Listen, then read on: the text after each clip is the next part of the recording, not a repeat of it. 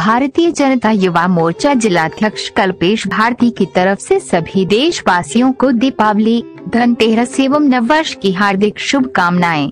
सभी का आने वाला नववर्ष मंगलमय हो। एकता समाचार को बहुत बहुत धन्यवाद। सभी को धनतेरस एवं दीपावली महापर्व की सभी प्रदेशवासियों और वगड़वासियों को बहुत बहुत हार्दिक बधाई एवं शुभकामनाएँ।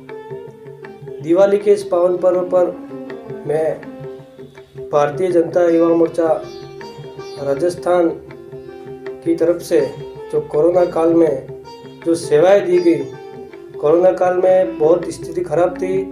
जब ब्लड डोनेट का जब जब समस्या आई, भोजन पैकेट की जब व्यवस्था करानी थी, ऐसी अनोखो व्यवस्थाओं को लेकर सोशल मीडिया के माध्यम से हमने जगह जगह हॉस्पिटल में एंबुलेंस की व्यवस्था हो चाहे भोजन की व्यवस्था हो। ऐसी अनेक व्यवस्था लेके भारतीय जनता युवा मोर्चा ने कोविड की परिस्थिति में हमेशा आगे रहा है।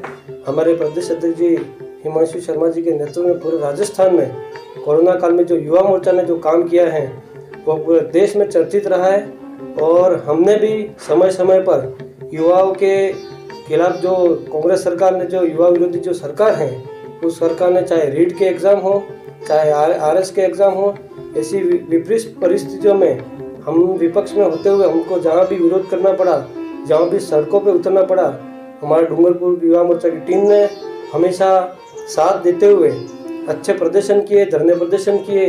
कुछ समय पहले ही रीट का एग्ज़ाम हुआ था। उस समय भी हमने सबसे पहले उपखंड स्तर पर भारतीय जनता युवा मोर्चा डूंगरपुर ने सभी उपखंड स्तर पर धरना प्रदर्शन किया रीट का। उसके बाद में जिला मुख्यालय पे भी रीट का हमने धरना प्रदर्शन किया, जो रीट में फर्जीवाड़ा था उसके खिलाफ। कुछ समय पहले बाल विवाह कानून का उन्होंने विधेयक का बिल लेके आए थे विधानसभा में, कांग्रेस सरकार। उसका भी भारतीय जनता युवा मोर्चा ने पूरे राजस्थान में, हर ज़िले में उनका विरोध किया था, जिससे सरकार घबरा गई और सरकार घबरा कर वापिस अशोक गहलोत जी ने माननीय राज्यपाल महोदय से वापस वो बिल मांगा और हमने ये जीत, हम युवा मोर्चा ने मेहनत करके ये जीत दर्ज किए तो उस कानून को भी वापस लिया। ऐसी अनेक योजना में भारतीय जनता युवा मोर्चा आगे रहा। अभी सौ करोड़ का जो वैक्सीनेशन है, उसमें नरेंद्र मोदी जी का और स्वास्थ्य कर्मियों का और नर्सिंग कर्मियों का जो योगदान रहा, उसके लिए भारतीय जनता युवा मोर्चा डूंगरपुर में एक बहुत अच्छा शानदार कार्यक्रम रखा था।